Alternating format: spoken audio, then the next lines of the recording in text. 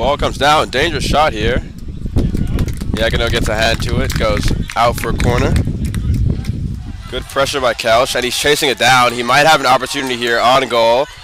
Sends it. Great save by Yakino. Turns it away. Tells him, you shall not pass. But the play is not over. And another save by Yakino. And then manages to get his hands on the ball somehow. That'll get him a lot of cheers. Carr fighting for it. Comes away with it. Forwards do have numbers here as he finds Jannelli through. Baroff trying to make the run. Bad challenge. Very bad challenge.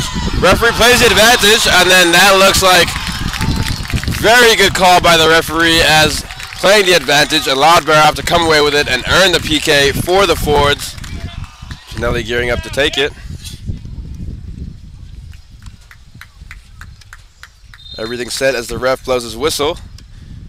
Jannelli puts it away, and that gives the Fords the first lead of the game. 1-0 Jannelli, no worries there.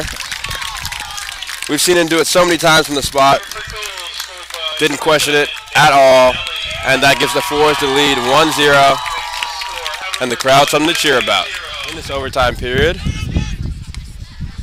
that's a dangerous ball forward. Lacorte gets a shot off, but Yakino secures that save.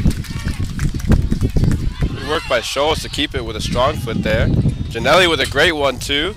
Mike Carr finds Max Krieg, who might test his luck, gets it back to Jannelli. What a finish by Jannelli! From the top of the box into the bottom of the net. That's the same goal of the day. Do not put it past him to do it. He's done it so many times before.